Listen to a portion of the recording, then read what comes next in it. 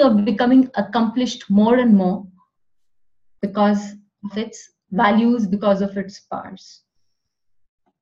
So we have another person here, Sanjay Dutt, Sun and Pushya. Um, so Sun is a very, as I've always stated, the biggest planet in our for us. So sitting in Pushya, it gives him everything in a large scale, even matrimonial issues in a large scale. Name, fame, and gain in the large scale. He has been famous, he has been infamous. So let's analyze his chart with Sun. And you know, he's an Indian and he has Sun sitting right there in his Pushya. And uh, what does it have? It has Sun sitting in his Sun is the 10th lord sitting in the ninth house. So ninth house is already related to prestige, to uh, you know, all luck and things like that. And uh, Sanjay Dutt is known to come, ninth house is also your father. So his father and son represents your father. 10th Lord in ninth house, he got his profession from both his parents. His mother and father both were actors, so he got a standing in the uh, society, in the industry as such. His father was well known, very well respected personality. Sunil Dutt and uh, late Sunil Dutt. And then you see Sun here is the ninth lord of even legality of marriage. He, uh, his first wife, Richa Dutt, was diagnosed with cancer. She went to the US for treatment and he had uh, marital issues. His marital issues began then and he had series of affairs. After his wife died, the affairs continued. He had another marriage and uh, with Rhea Pillai, which again went in the wrong direction. They divorced and finally he settled down with Manyata Dutt, a very a lady much younger than him, but hopefully he has a happy married life. He also has one child from Rhea, and uh, now he has two children from Manyata.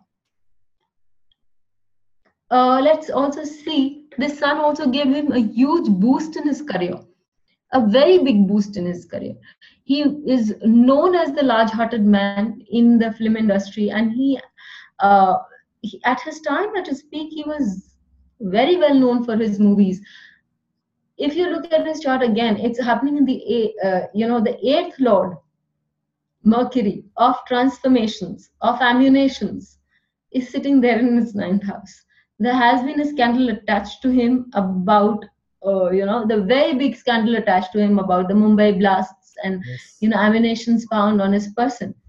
So so as I said, this nakshatra not only gives association of with this nakshatra of the eighth lord gave him issues. And Ketu also aspects this from the fifth house. And Ketu is also ammunition firing, and you know it's fire element. So Mercury is also the 11th lord of contacts and it's retrograde. So instead of the regular contacts, he might have contacts with the wrong kind of people also. So yeah, and another thing we can see here is the 11th house is doubly afflicted by Saturn and Rahu both. Okay. And they say that wherever the dispositor of the Saturn Rahu's conjunction or aspect or that thing goes, there is the blow where it comes. It, the blow comes there. So in this case mercury is there and sun is the 10th lord so career and that 11th house of connections that can be seen. Yes and ninth house of bhagya of mar- uh, of legality of marriage is also questioned there.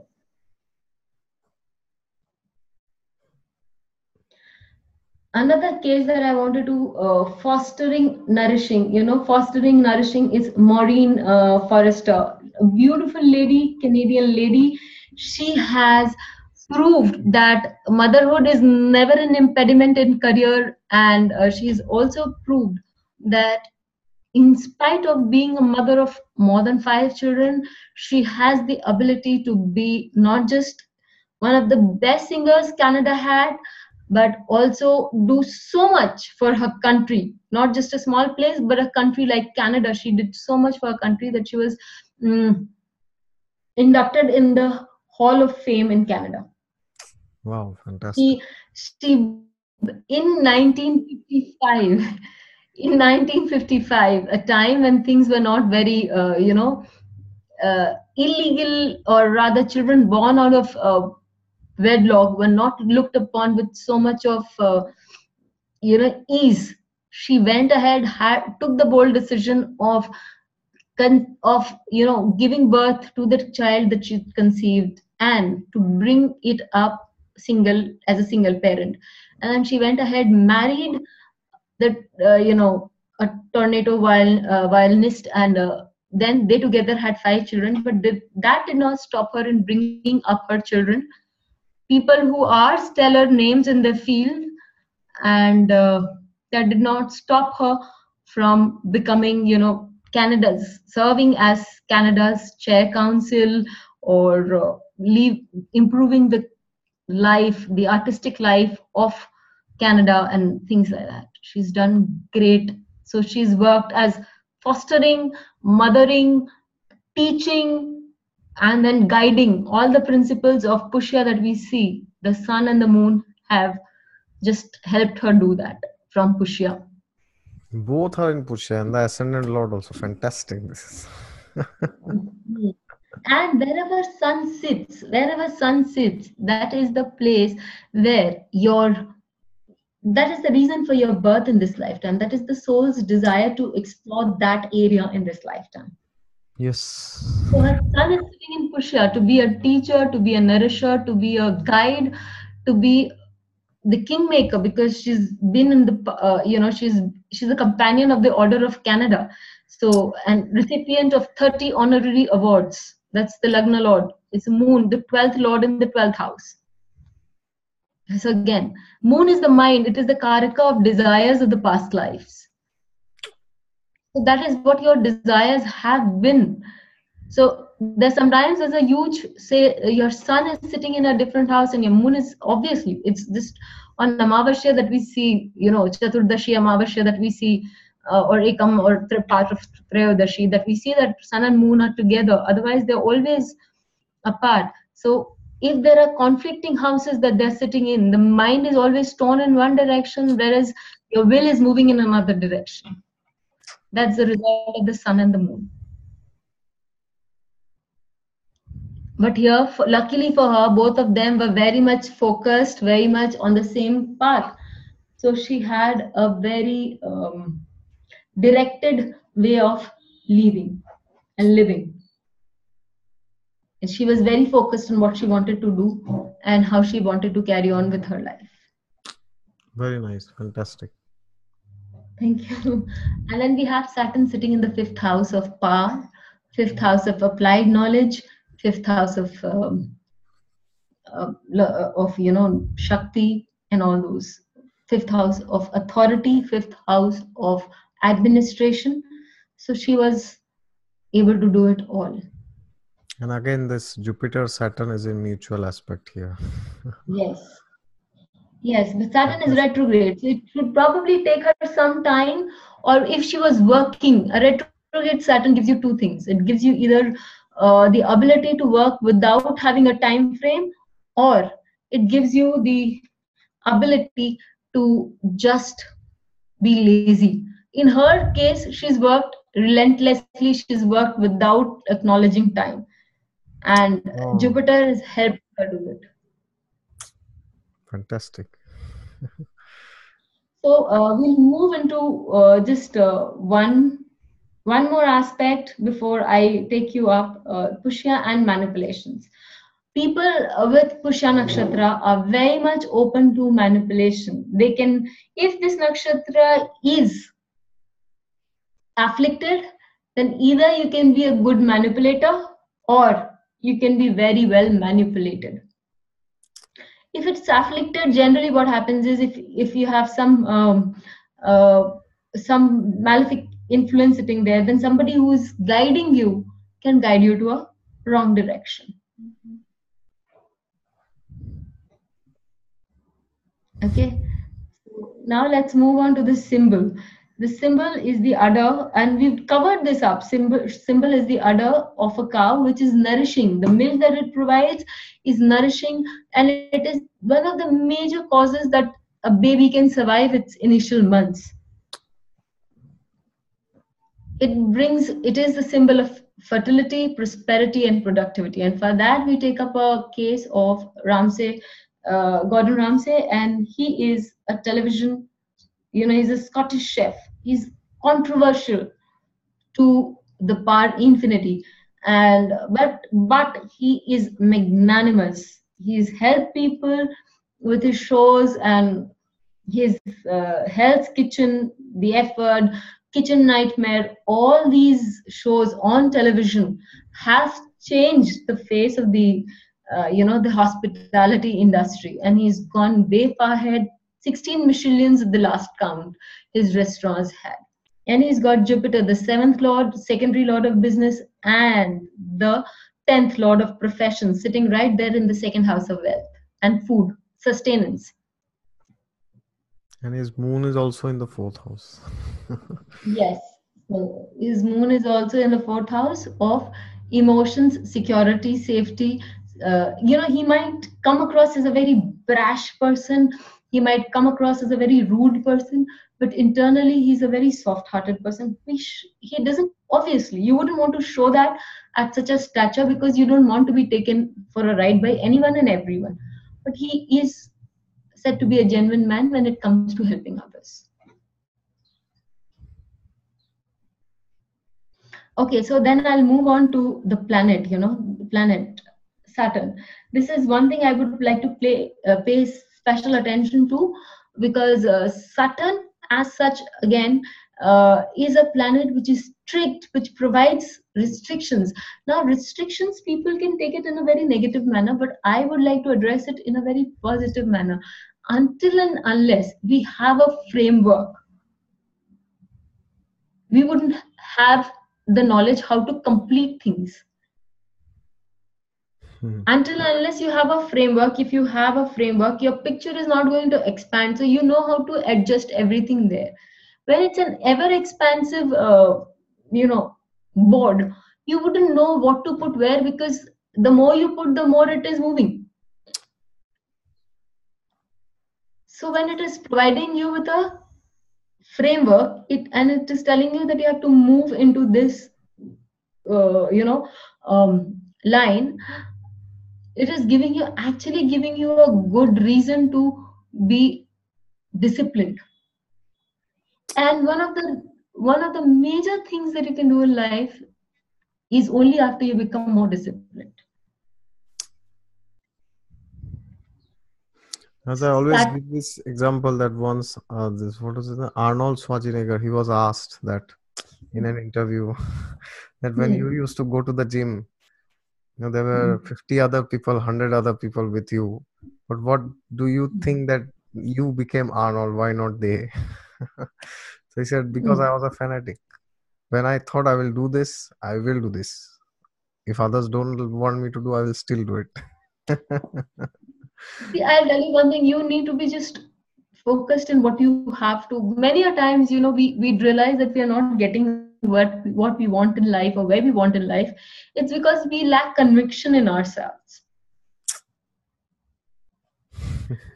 We do not believe in ourselves. Once you start believing in yourself one and two uh, i'll tell you a story here. I'm going off track again but i'll just tell you a story here. Even brahmaji had to relent to people's wishes because they were very strong in their convictions so with their with their penance with their ability to do so much with their convictions they were able to use the third house third house of hands third house of free will, and third house of unlocking the karma.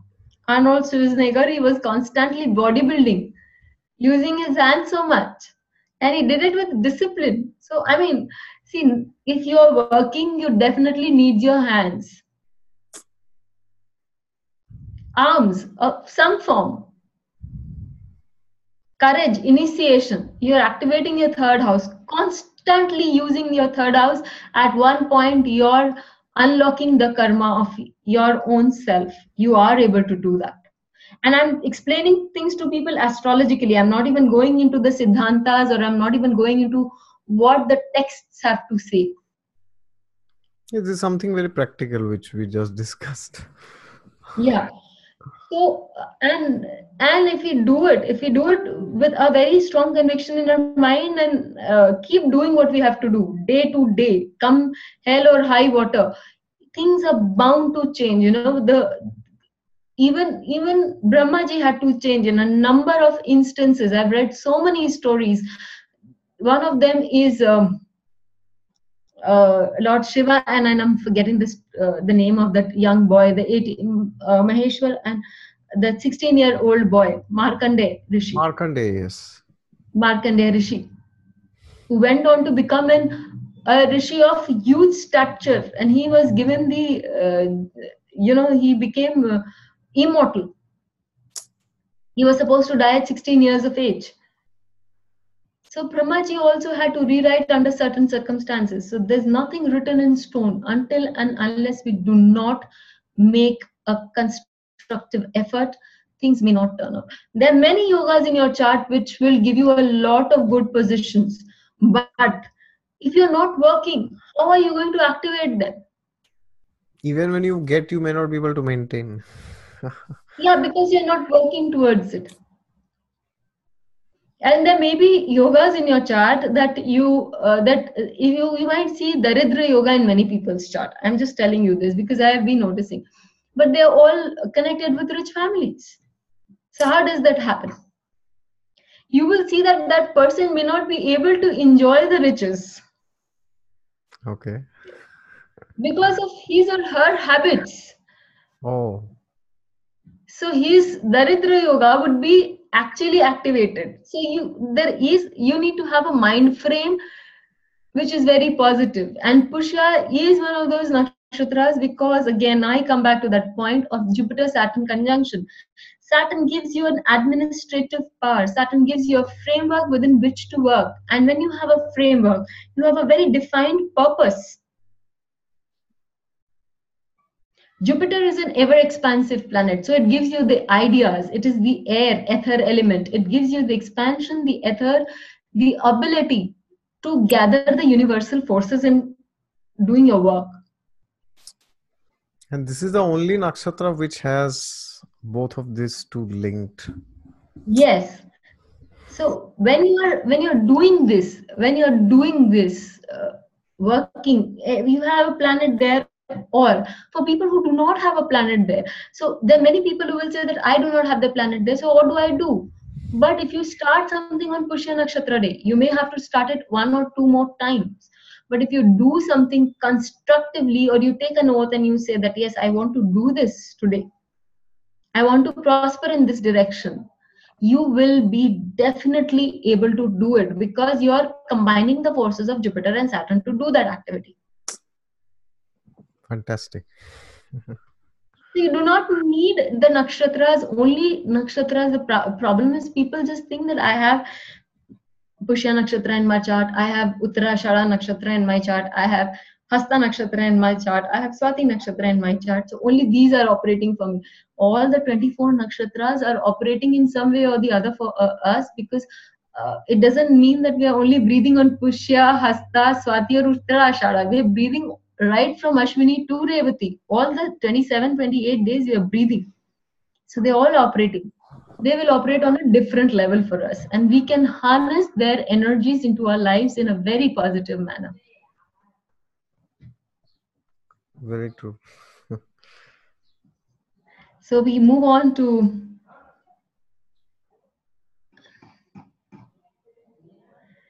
auspicious activities of this nakshatra. So the auspicious activities of this nakshatra that one can do in this nakshatra is enjoy, you know, creativity, travel, dealing with enemies, because Pushya Nakshatra has the ability, Brihaspati has the ability to get his or her enemies down very beautifully.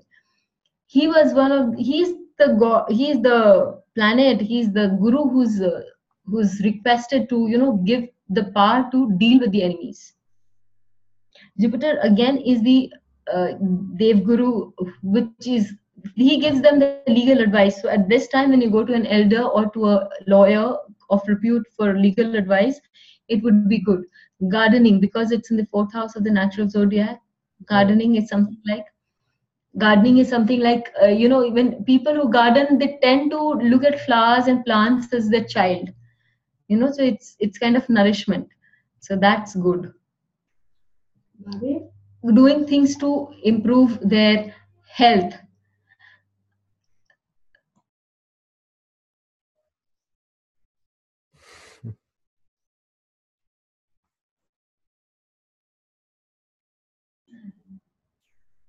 So sorry for that. Um, doing things to improve health performing festivals or remedies. Okay? And learning occult sciences cooking and food preparations yes. Uh, so it's uh, another we've seen we've seen what cooking does to this nakshatra and it is a source of sustenance. Food is a source of sustenance. So if somebody has one of their 10th lord sitting there we saw gordon ramsay he had his 10th lord sitting there and he's made a name of himself jupiter sitting there. Getting pets adopting a child fostering is one uh, issue that we've seen is very prominent with this nakshatra. Then we have uh, spiritual activities. Then we have laying foundation stones for constructions. All these things take place in this nakshatra. Then we have the bij mantras om kam and om kam and we the gayatri mantra i repeat i know that i've been repetitive but i would still repeat and say until and unless you are guided don't use the bij mantras because the bij mantras can really play a lot of havoc with the system. Vishnu sahasranam is because the bij mantras are very potential very very potent.